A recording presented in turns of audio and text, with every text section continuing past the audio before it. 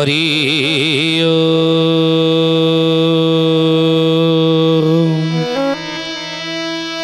ॐ भूर्भुवः स्वः तत्सवितुर्वरेण्यं। भर्गो देवस्य धीमहि। धियो यो प्रचोदया।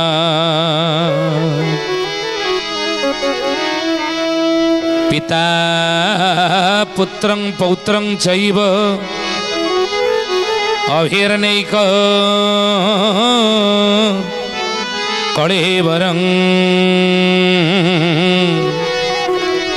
हरि साधु रघुवरं। वन्दे अनन्त गोपालम्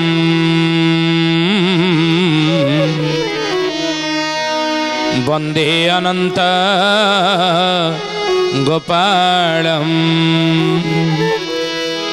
बोलिए महापुरुष हरिदास की ଜୟ ଶୁଦ୍ଧି ଜାନି ଜ୍ଞାନୀ ଗୁଣୀ ମଣ୍ଡଳୀ ଆଜିର ଅଧ୍ୟାୟର ଆଲୋଚନାକୁ ଆପଣମାନଙ୍କୁ ସ୍ୱାଗତ ଜଣାଉଛୁ ଆଜିର ମାଳିକା ବଚନର ଆଲୋଚନାରେ ଆମେ ଆଲୋଚନା କରିବାକୁ ଯାଉଛେ।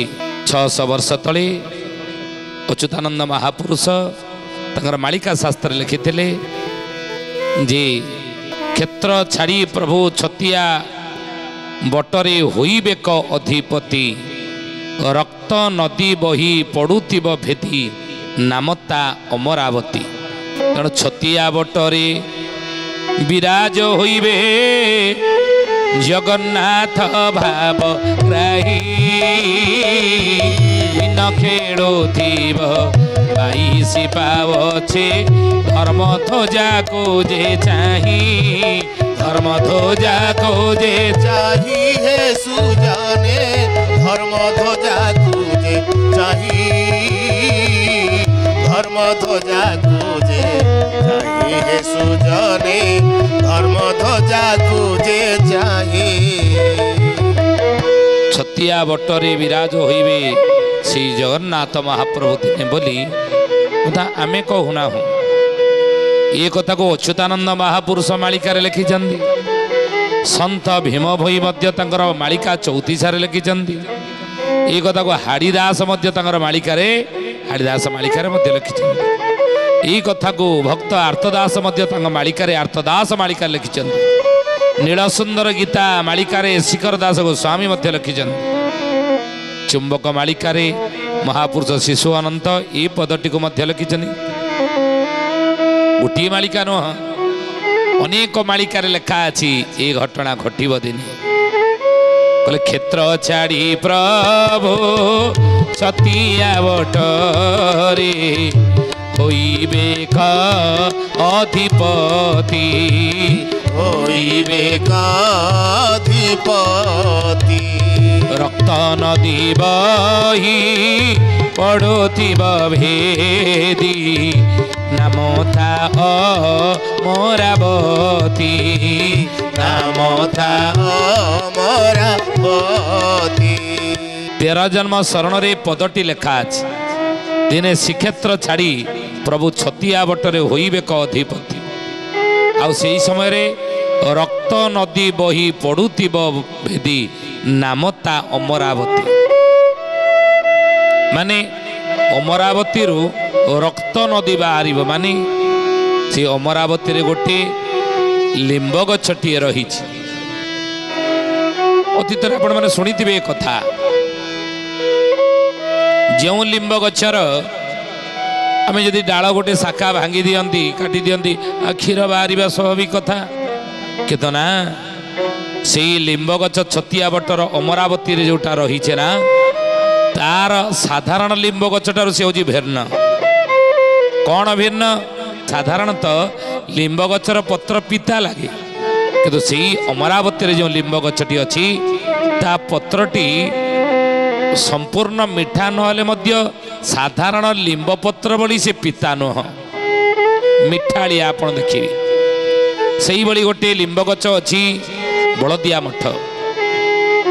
ଯାଜପୁର ରୋଡ଼ ପାଣି କହିଲୁ ଆପଣ ଯିବେ ଯାଜପୁର ରୋଡ଼ ସେ ରୋଡ଼ରୁ ଯିବେ ବଳଦିଆ ମଠ।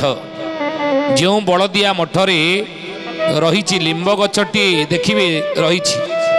ଚୌପଦୀ ଉପରେ ଗୋଟେ ଲିମ୍ବ ଗଛ ସେ ବଳଦିଆ ମଠର ଯିଏ ଥିଲେ ମହନ୍ତ ସିଏ ଥରେ ଦାନ୍ତ ଘଷିକି ଦାନ୍ତ ଜିଭ ଛେଲିଲା ବେଳେ ସେଇ ଦାନ୍ତ କାଠରେ ଜିଭ ଛେଲିଲା ବେଳେ ଦୁଇ ଫାଳ କରିଦେଲେ ଦାନ୍ତ କାଠିକୁ। ଏବଂ ଯେଉଁଥିରେ ଜୀବ ଚଲେ ସେଇ ଦୁଇ ଫାଳ ଲିମ୍ବ କାଟିକି ସେଇଠାରେ ଯେଉଁଠାରେ ପୋତି ଦେଇଥିଲେ ସେ ଲିମ୍ବ ଗଛ ଦୁଇଟି ହେଇଯାଇଛି। ଜୀବନ୍ତ ହେଇଗଲା। ଆଉ ସେଇ ଲିମ୍ବ ଗଛର ପତ୍ର ମିଠା ବଳଦିଆ ମଠରେ ଥିବା ଲିମ୍ବ ଗଛର ପତ୍ର ମିଠା।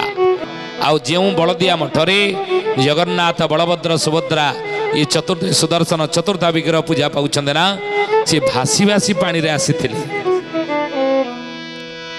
ସ୍ୱତଃପ୍ରବୃତ ଭାବରେ ଭାସି ଭାସି ଆସିଥିଲେ ସ୍ୱପ୍ନାଦେଶ ମହନ୍ତଙ୍କୁ ହେଲା ଏବଂ ମହନ୍ତ ସେହି ଦାରୁ ବିଗ୍ରହକୁ ଆଣି ସେ ବଳଦିଆ ମଠରେ ସ୍ଥାପନା କଲେ ବୁଝିଲେ ଯାହାର ଯେକୌଣସି ମାନସିକତା ଥାଉ ନା କାହିଁକି ସେ ସମସ୍ତ ମାନସିକତା ଆପଣ ଯାହା ଥାଉ ସେଇଠି ଆପଣ ଜଣାନ୍ତୁ ବଳଦିଆ ମଠରେ ଥିବା ପ୍ରଭୁଙ୍କ ନିକଟରେ ବଳଦିଆ ମଠ ବା ବଳ ବଳଦେବଙ୍କର ମଠ ବଳଦେବ ମନ୍ଦିର ଆପଣ ଦେଖିବେ ସମସ୍ତ ମାନସିକ ଆପଣଙ୍କର ପୂର୍ଣ୍ଣ ହେବ ଆହୁରି ଗୋଟେ ଲିମ୍ବ ଗଛ ଖଣ୍ଡଗିରିରେ ଅଛି ଭୁବନେଶ୍ୱର ଖଣ୍ଡଗିରି ଯାହାର ଲିମ୍ବ ପତ୍ର ମଧ୍ୟ ମିଠାଳିଆ। ତେଣୁ ସେଇ ଅମରାବତୀର ଲିମ୍ବ ଗଛଠାରୁ ବହିବ ତଇଁ ରୁଧିର ସେ ଅମରାବତୀର ଲିମ୍ବ ଗଛଠାରୁ ରୁଧିର ରକ୍ତ ବହିକି ରକ୍ତ ନଦୀ ବହିବ। ବୋଲି ଅଚ୍ୟୁତାନନ୍ଦ ମହାପୁରୁଷ ମାଳିକାରେ ଲେଖିଲେ। କ୍ଷେତ୍ର ଚାରି ପ୍ରଭୁ ଛତିଆ ବଟରେ ଯେତେବେଳେ ହୋଇବେ କ ଅଧିପତି ଯେତେବେଳେ ଅଧିପତି ହେବେ ତା ପୂର୍ବରୁ ମହାପୁରୁଷ ଲେଖିଥିଲେ ଛତିଆର ତ୍ୱାରି ଦ୍ୱାର ମୁକୋଳା ହୋଇବ ବାବୁ। ମୁକୁଳା ହୋଇବ ନୟନରେ ଦେଖିବ ଯେ କହୁଅଛି ସତ ତୋତେ କହୁଅଛି ସତ ଛତିଆ ବଟରେ ଚାରୋଟି ଦ୍ୱାର ରହିଛି ସେ ଚାରି ଦ୍ୱାର ମୁକଳା ଦିନେ ଖୋଲା ହେବ କେତେବେଳେ ବୋଲି ଏ ମହାପୁରୁଷ ହାଡ଼ିଦାସ କି ଜୟ ହେ ଜ୍ଞାନୀ ଗୁଣୀ ମଣ୍ଡଳୀ ସୁଧୀ ଜାନି କହିଲେ ରଜନୀରେ ବର ଯିବେ ଜଗନ୍ନାଥ ଛତିଆନି ସୁନ୍ଦର ଛତିଆ ନୀଳ ସୁନ୍ଦର ଭକତଙ୍କ ପାଇଁ ଲାଗିଥିବ ଲୀଳା ହୋଇବ କେ ବେହୁନ୍ଦର ହୋଇବ କେତେ ସୁନ୍ଦର କ୍ଷେତ୍ର ଛାଡ଼ିକି ପ୍ରଭୁ ଯିବେ କେତେବେଳେ ନା ଯେତେବେଳେ ଛତିଆ ବଟରେ ଚାରି ଦ୍ୱାର ଦେଖିବେ ଖୋଲା ହେବ ତା ପୂର୍ବରୁ ବିଶ୍ୱରୂପ ହେଇଥିବ ଆପଣ ଯାଆନ୍ତୁ ଏବେ ଦେଖିବେ ଛଅଶହ ବର୍ଷ ତଳେ ଅଚ୍ୟୁତାନନ୍ଦ ମହାପୁରୁଷ ମାଳିକାରେ ଲେଖିଥିଲେ ଏ ଘଟଣା ଘଟିବ ଦିନେ ଛତିଆ ବଟରେ ଆପଣ ଯାଆନ୍ତୁ କି ବିଶ୍ୱରୂପ ସେଠି ନିର୍ମାଣ ହେଲାଣି ମାଳିକା ବଚନ ନ ହୋଇବା ମହାପୁରୁଷ ଲେଖିଛନ୍ତି ଅଚ୍ୟୁତାନନ୍ଦ ମହାପୁରୁଷ ଦିନେ ଛତିଆ ବଟରେ ଦେଖିବେ ଗୋଟେ ଘଟଣା ଘଟିବ କ'ଣ ନା ଚିତଳ ମାଛ ବଉଳା କୁମ୍ଭୀର ସାରଳା ଦର୍ଶନ କରି ଯିବେ। କୋଉଠି? ନା ଏରୁଡ଼ି ବନ୍ଧ ଯେ ଚିତଳ କଣ୍ଟାରେ ପଞ୍ଚମୁଖୀ ଦେଉଳରେ କୁମ୍ଭୀର ହାଡ଼ରେ ଷୋଳ କାଟ ଏବଂ ମଣିନାଗ ଗୁମ୍ଫାଟାରେ। ଆଉ ସେ ଚିତଳ ବଉଳା କ'ଣ କରିବେ? ଚିତଳ ମାଛ ବଉଳା କୁମ୍ଭୀର? ନା ସାରଳା ଦର୍ଶନ କରିବେ। ନାଇଁ ପୂର୍ବ ଦିଗେ ମାଛ ଚିତଳ ରହିଛି ସେଦିନ ଦର୍ଶନ ଯୋଗ ବଉଳଲୋ ସେଦିନ ଦର୍ଶନ ଯୋଗ ଛତିଆ ବଟରେ ଉଭୟ ମିଳିବେ ମୋ ବଚନ ଅଟେ ଧ୍ରୁବ ଜୟ ଜଗନ୍ନାଥ ଜୟ ଜଗନ୍ନାଥ ଜୟ ଜଗନ୍ନାଥ ଜୟ ଜଗନ୍ନାଥ ସେ ଚିତଳ ମାଛ ପୂର୍ବ ଭାଗରେ ଅଛି ଆଉ ବଉଳା କୁମ୍ଭୀର କୋଉଠି ଅଛି ଗଣ୍ଡ ନାମ ସାତ କୋଶିଆ ହୋଇଛି ଜିଲ୍ଲା ନାମ ଢେଙ୍କାନାଳ ବଉଳଲୋ ଜିଲ୍ଲା ନାମ ଢେଙ୍କାନାଳ ଝାଉଁଡ଼ି ବନ୍ଧର ପଶ୍ଚିମ ଭାଗରେ କୁମ୍ଭୀର ରହିଛି କାଳ ଜୟ ଜଗନ୍ନାଥ ଜୟ ଜଗନ୍ନାଥ ଜୟ ଜଗନ୍ନାଥ ଜୟ ଜଗନ୍ନାଥ କହିଲେ ଗଣ୍ଡ ନାମ ସାତ କୋଶିଆ ହୋଇଛି ଜିଲ୍ଲା ନାମ ଢେଙ୍କାନାଳ। ଝାଉଁଡ଼ି ବନ୍ଧର ପଶ୍ଚିମ ଭାଗରେ କୁମ୍ଭୀର ରହିଛି କାଳ। ସେଇ ଚିତଳ ମାଛ ବଉଳା କୁମ୍ଭୀର ଦିନେ ଛତିଆ ବଟରେ ଯାଇକି ଭେଟା ଭେଟି ହେବେ ଉଭୟ ମିଳିବେ ମୋ ବଚନ ଅଟେ ଧ୍ରୁବ ଆଜି ଆପଣ ଯାଉନାହାନ୍ତି ଦେଖିବେ ବଉଳା କୁମ୍ଭୀର ମୂର୍ତ୍ତି ତିଆରି ହେଇଛି ଛତିଆ ବଟରେ କାହିଁକି? ଛଅଶହ ବର୍ଷ ତଳେ ଅଚ୍ୟୁତାନନ୍ଦ ମାଳିକାରେ ଲେଖିଥିଲେ ଆଜି ଦେଖନ୍ତୁ ତାର ନିଦର୍ଶନ। ସ୍ପଷ୍ଟ ନିଦର୍ଶନ ଆପଣ ଦେଖନ୍ତୁ ବଉଳା କୁମ୍ଭୀର ଛତିଆ ବଟରେ ତିଆରି ହେଲାଣି। ବିଶ୍ୱରୂପ ଭଗବାନ ଅର୍ଜୁନକୁ କେବେ ଦେଖେଇଥିଲେ? କୁରୁକ୍ଷେତ୍ରରେ ଯେତେବେଳେ ମହାଭାରତ ଯୁଦ୍ଧ ହେଲା ତ ଆଜି ଛତିଆ ବଟରେ ବିଶ୍ୱରୂପ ତିଆରି ହେଇଛି ମାନେ ଛଅଶହ ବର୍ଷ ତଳେ ଅଚ୍ୟୁତାନ ଲେଖିଥିଲେ ବିଶ୍ୱ ରୂପ ପ୍ରକାଶିବ। ପ୍ରଭୁ କହିଛନ୍ତି ମୁଁ ବିଶ୍ୱରୂପ ଦିନେ ଦେଖେଇବି ବିଶ୍ୱରୂପ ହେବି। ଛଅଶହ ବର୍ଷ ତଳେ ଅଚ୍ୟୁତ ଲେଖିଥିଲେ ଆଜି ଦେଖନ୍ତୁ ବିଶ୍ୱରୂପ ତିଆରି ହେଇଛି ଛତିଆ ବଟରେ। ନୁହେଁ ମହାପୁରୁଷ କହିଲେ, ଛତିଆ ମହିମା କି କହିବି ତୋତେ ଶୁଣ ରାମ ଦାସ ତୋହି ଶୁଣ ରାମ ରାମ ଦାସ ତୁହି ସକଳ ମୁନିଙ୍କ ବାସସ୍ଥାନ ସେ ସେ ସମସ୍ତ ହୋ ବସେ ସମସ୍ତ ହୋଇବ ସେ ମାଳିକାର ନାମ ହେଲା ତେର ଜନ୍ମ ଶରଣ। ଆଉ ସେଇ ଛତିଆ ବଟରେ ଛତିଆ ବଟରେ ଆଡ଼ିଆ କମାର ଚାହିଁଛି ପ୍ରଭୁ ପଥକୁ ଚାହିଁଛି ପ୍ରଭୁ ପଥକୁ। ଶ୍ରୀକ୍ଷେତ୍ର ଯେ ସାତ ଦିନ ବସିଥିବ ଭକତଙ୍କୁ ଲୋଡ଼ିବାକୁ ଭକତ ତାଙ୍କୁ ଲୋଡ଼ିବାକୁ ପ୍ରଭୁ ପଥକୁ ହାଡ଼ିଆ କମାର ଚାହିଁକି ରହିଛନ୍ତି ଛତିଆ ବଟ କାହା ପାଇଁ ପ୍ରସିଦ୍ଧ? ହାଡ଼ିଦାସ? ହାଡ଼ିଦାସ ମହାପୁରୁଷଙ୍କ ପାଇଁ ଛତିଆ ବଟ ପ୍ରସିଦ୍ଧ ନୁହଁ କି? କି ବାପ ପୁଅ ନାତି ତିନି ମୋରାତି କ୍ଷୀରର ଘୃତ ଜିଲାବଣୀ ସ୍ଥିତି। ନାଇଁ ତେଣୁ ବାପ ପୁଅ ନାତି ତିନି ମୂରତି ଏଇଭଳି ଅଙ୍ଗ ପାଲଟେଇକି ସେଠି ଆସୁଛନ୍ତି କୋଉଠି? ଛତିଆ ବଟରେ। ଦିନେ ଜଗନ୍ନାଥ ମହାପ୍ରଭୁ ସେଇଠି ହେ ଜ୍ଞାନୀଗୁଣୀ ମଣ୍ଡଳୀ ବିଜେ ହେବେ ବୋଲି ମହାପୁରୁଷ ଲେଖିଛନ୍ତି କେତେବେଳେ? କେତେବେଳେ? ନା ଯେତେବେଳେ କଳିକି ଅବତାର ହେଇଥିବେ ନୀଳାଚଳ ଆମ୍ବେ ଛାଡ଼ିବ। ନର ଦେହ ଧାରଣ ନର ଦେହ ଧାରଣ କରିସାରିଥିବୁ ଯେତେବେଳେ ନୀଳାଚଳ କ୍ଷେତ୍ର ଛାଡ଼ି ଛତିଆ ବଟକୁ ଆମେ ଯିବୁ। ନର ଧାରଣ ମାନେ କୋଉ ନର ସର ଧାରଣ କରିଥିବେ?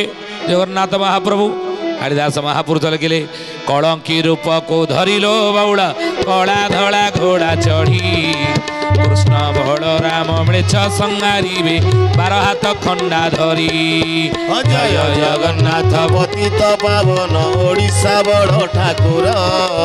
କଳ୍ପ ବଟବାସୀ ପ୍ରଭୁ ବ୍ରହ୍ମ ରାଶି କଳି କଳୁଷ ନାଶନ। କହିଲେ କଳଙ୍କି ରୂପକୁ ଧରିଲ ବଉଳ କଳା ଧଳା ଗୋଡ଼ା ଚଢ଼ି କୃଷ୍ଣ ବଳରାମ ମୃଛ ସଙ୍ଗାରିବେ ବାର ହାତ ଖଣ୍ଡା ଧରି। ଯାଉନାହାନ୍ତି ଛତିଆ ବଟରେ ଦେଖିବେ ଏଠି କ'ଣ ଜଗନ୍ନାଥ ଖଣ୍ଡା ଧରିଛନ୍ତି? ଶ୍ରୀକ୍ଷେତ୍ରରେ ପୁରୀରେ ଜଗନ୍ନାଥ ଖଣ୍ଡା ଧରିନାହାନ୍ତି। ଜଗନ୍ନାଥ ବଳରାମ କ'ଣ ଖଣ୍ଡା ଧରିକି ଅଛନ୍ତି? ନା କିନ୍ତୁ ଛତିଆରେ ଯାଆନ୍ତୁ ଦେଖିବେ। ଛତିଆରେ ଘୋଡ଼ାରେ ବସୁଛନ୍ତି ଜଗନ୍ନାଥ ବଳରାମ ଖଣ୍ଡା ଧରିକି ବସୁଛନ୍ତି ନୁହେଁ? ହାଡ଼ିଦାସ ମହାପୁରୁଷ ସେଇ କଥା ମାଳିକାରେ ଲେଖିଦେଲେ बोलिए महापुरुष हरिदास की জ্ঞানী গুণী মন্ডলী সুথি জানি অচ্যুতানন্দ কলে কলে বাবুরে শ্রী জগন্নাথ মহাপ্রভু সেটি বিজে হবে কেতবে নীলাচল ক্ষেত্র প্রভু ছাড়বে কড়কি অবতার হয়েছে বার হাত খণ্ডা ধরিকি মেছ সংহার করবে বলে মহাপুরুষ হাড়িদাস হাড়িদাস মালিকার লিখিলে কলঙ্কি রূপকু ধরিল বৌল কলা ধলা গোড়া চড়ি কৃষ্ণ বলরাম মেছ সংহারি বার হাত খণ্ডা ধরি है तर सिदमी उहाडी नागो। नको उहाडी भोती ओ उहाँसनी सिरे चन्द्रमा उदय। ओ राति रे ଉଦୟ ଆସି ରାତିରେ ଚନ୍ଦ୍ରମା ଉଦୟ ଚାହିଁଥା ସେହି ପଥକୁ ତୋ ବାବୁ ଚାହିଁଥା ସେହି ପଥକୁ ଚଉତିଶା ମାଳିକାରେ ଅଚ୍ୟୁତ ଲେଖିଲେ ଯେ ହେ ମହାପ୍ରଭୁ ଆପଣ ସେ ଭକ୍ତମାନେ କ'ଣ ବିନାଶ ହେବେ ଭକ୍ତମାନେ କ'ଣ ନଷ୍ଟ ହେଇଯିବେ ନା ମହାପୁରୁଷ ଲେଖିଲେ ଏ କଥା ହାଡ଼ିଦାସ କହିଲେ ଫିଟିବ ପ୍ରଜାଙ୍କ କଷଣ ଦୁଷ୍ଟ ହୋଇବେ ଶେଷ ଦୁଷ୍ଟମାନେ ବିନାଶ ହେବେ ସମ୍ବତ୍ସର ପାଞ୍ଚ ସହସ୍ର ପଡ଼ି ଶେଷ ହୋଇବ ସତ୍ୟ ଯୁଗ ଆଦ୍ୟ ପ୍ରବେଶ ଶୁଭ ଯୁଗ ହୋଇବ ହରି ହରି ଶବ୍ଦେ ମାତିବେ ହରି ଭକତ ମାନେ ହରସ ହୋଇବେ ହୃଦୟରେ ଦୁଃଖୀ ଦରିଦ୍ର ମାନେ କହିଲେ ଭକ୍ତମାନଙ୍କୁ ପ୍ରଭୁ ରକ୍ଷା କରିବେ ଦୁଃଖୀ ରଖିକି ପ୍ରଭୁ ରକ୍ଷା କରିବେ। കേവലം ലക്ഷാനിബഹ നിധന കളയസി കരവാളം ധൂമകേതുമൈവ കിമപി കലാളം കേശവധൂത കളിക്കി ശരീര ജയ ജഗദീശ ഹരി জয়দেব লেখিলে গীত গোবিন্দরে ম্লেচ্ছ নিবহ নিধনে কলয়সি করবাণ ম্লেচ্ছ বিনাশ পাই জগন্নাথ মহাপ্রভু কলকি হেবে জগন্নাথ হইবে কলকি ভেষ কাইকি ম্লেচ্ছ মারিয়া পাই সেই দিব বার হাত খণ্ডার রহিছে না ছতিয়া বাট দেখবে ধরিকি গোড়া ঘোড়া ধড়া ঘোড়ারে বসছেন ଘୋଡ଼ା ଧଳା ଘୋଡ଼ାରେ ବସିଛନ୍ତି ନାଇଁ? କିନ୍ତୁ ବାର ହାତିଆ ଖଣ୍ଡା କ'ଣ ତାର ତତ୍ତ୍ୱ ଅଛି? ଜ୍ଞାନାସ୍ତ୍ର। ଜ୍ଞାନର ଅସ୍ତ୍ର ଦ୍ୱାରା ଅଜ୍ଞାନ ଅନ୍ଧକାର ଦୂରୀଭୂତ କରିବେ। ତେଣୁ ହେ ଜ୍ଞାନୀ ଗୁଣି ମଣ୍ଡଳୀ ସୁଧୀ ଜାନି ଉହାଡ଼ି ସୁଦର୍ଶନକୁ ହେ ପ୍ରଭୁ ଆପଣ ସୁଦର୍ଶନକୁ ଉହାଡ଼ କରି ରଖିଥାନ୍ତୁ। ଏ ଉହାଡ଼ି ଭୂତି ଭକ୍ତଙ୍କୁ ଏ ଚେତୁଆ ଭକ୍ତ ଆପଣଙ୍କ ଭକ୍ତମାନଙ୍କୁ ପ୍ରଭୁ ଆପଣ ସୁଦର୍ଶନ ଚକ୍ରରେ ଘୋଡ଼ିକି ଘଣ୍ଟ ଘୋଡ଼ି ରଖିଥାନ୍ତୁ। ଉଆଁସ ନିଶିରେ ଚନ୍ଦ୍ରମା ଉଦୟ। ଉଆଁସ ନିଶି କହିଲେ କ'ଣ? ଅମାବାସ୍ୟା। ଉଦୟ ହେଇଥିଲେ ମାନେ ହେ ଜ୍ଞାନୀ ଗୁଣି ମଣ୍ଡଳୀ ସୁଧୀ ଜାନି ଏଇ ଅମାବାସ୍ୟା ଦିନ ଜନ୍ମ ହେଇଥିଲେ କି ଆପଣ ଛତିଆ ବଟରେ ଉଆଁସ ନିଶି ଗଲେ ଅମାବାସ୍ୟା ରାତି ନା ରାମ ମଣିମା ଆପଣ ଜାଣିଥିବେ ରାମଚନ୍ଦ୍ର ଦେବ ଏବଂ ତାଙ୍କର ପୁତ୍ର ସୁପୁତ୍ର ଯିଏକୁ ଯେ ହରିମଣିମା ନୁହେଁ ତାଙ୍କର ସାନ ପୁଅ ହରିମଣିମାଙ୍କର ଜନ୍ମ ହେଇଥିଲା ମାନେ ଚନ୍ଦ୍ର। ଉଦୟ ହେଲେ ଯେମିତି ଅନ୍ଧକାର ଦୂରୀଭୂତ ହେଇଯାଏ। ତ ସେଇଭଳି ଛତିଆ ବଟରେ ସେ ଉଦୟ ହେଇଥିଲେ ଜନ୍ମ ହେଇଥିଲେ। ଉଆଁସ ନିଶିରେ ଚନ୍ଦ୍ରମା ଉଦୟ ଚାହିଁଥା ସେଇ ବେଳକୁ ସେ ବେଳକୁ ଅପେକ୍ଷା କରିଥା ଭକ୍ତକୁ ପ୍ରଭୁ ରକ୍ଷା କରିବେ। ସୁଦର୍ଶନ ଚକ୍ର ଘୋଡ଼ିକି କହିଲେ ଚାହିଁଥା ବାର ଗೋ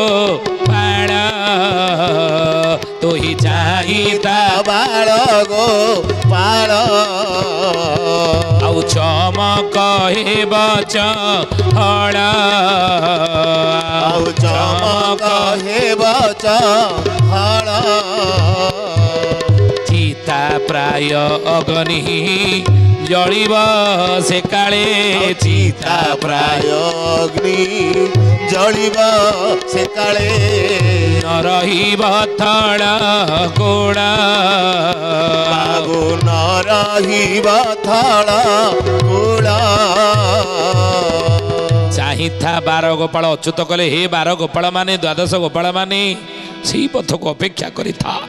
ସେ ବେଳକୁ ଅପେକ୍ଷା କରିଥା ଯେତେବେଳେ ମିଳେଛ ସଂହାର ବେଳ ହେବ ପ୍ରଭୁ ମିଳେଛ ବିନାଶ କରିବେ। କାହିଁ ଜଳ ରୂପେ ମୁଁ ହିଁ ଜଗତ ନାସିବି? କାହିଁ ପବନ ରୂପରେ ସକଳ ଗ୍ରାସିବି? କାହିଁ ଯୋଗ ମାୟା ନେଇ ଦୁଷ୍ଟ ସଂହାରିବି? କାହିଁ ବ୍ୟାଧି ରୂପରେ ମୁଁ ପାପିଙ୍ଗି ନାସିବି? ଅକାଳ ମୃତ୍ୟୁ ଭୂମିକମ୍ପ ଦ୍ୱାରା ଯାନବାହନ ଦୁର୍ଘଟଣା ଚବିଶରେ ପ୍ରବଳ ହେବ। ଏ ଚବିଶ ମସିହାରେ ଯାନବାହନ ଦୁର୍ଘଟଣାରେ ଅନେକ ଲୋକ ମରିବେ। ଲେଖିକି ରଖନ୍ତୁ ଏ କଥା। ଭୂମିକମ୍ପ ପ୍ରବଳ ମାତ୍ରାରେ ହେବ ଅକାଳ ମୃତ୍ୟୁ ହେବ। ସେଇଭଳି ପ୍ରାକୃତିକ ବିପର୍ଯ୍ୟୟ ଦ୍ୱାରା ବନ୍ୟା ବାତ୍ୟା ଦ୍ୱାରା ଅନେକ ଧନ ଜୀବନ ନଷ୍ଟ ହେବ ଅକାଳ ମୃତ୍ୟୁ ହେବ ଏବଂ ରୋଗ ବ୍ୟାଧି ଦ୍ୱାରା ଅକାଳ ମୃତ୍ୟୁ ସଂସାର ଜୋରରେ ବ୍ୟାପିବ। ତେଣୁ ଚାହିଁତା ବାର ଗୋପାଳ ଚମକ ହେବ ଚହଳ।